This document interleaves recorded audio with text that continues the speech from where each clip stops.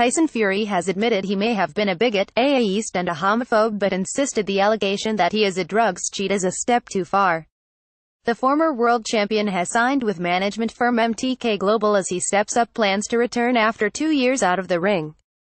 But first, he must win a legal battle with UK Anti-Doping, who announced he had failed a test for banned substance in 2016, leading to the withdrawal of his license by the British Boxing Board of Control.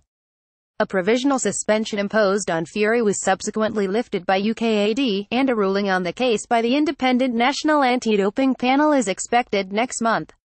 Fury, who linked homosexuality and abortion to pedophilia in an interview last year, told IFL TV of all the things I've been called a bigot, atheist, a homophobe I may have been those but the one thing I'm not is a drugs cheat. Fury HASNT fought since he beat Vladimir Klitschko in 2015 Image Getty Tyson Fury targets return after signing deal with MTK Global that's the worst a sportsman can be. I will not be forced to admit anything I have not done.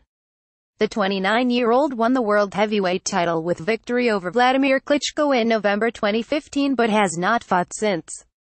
He added this time I want to be myself, I don't want to play a character anymore.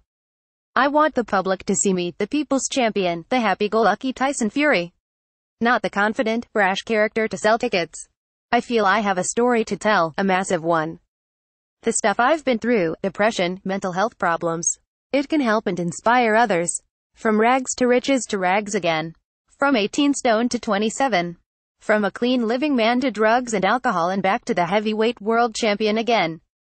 I hope the legacy and story I leave behind will help others in the future of what to do and not to do.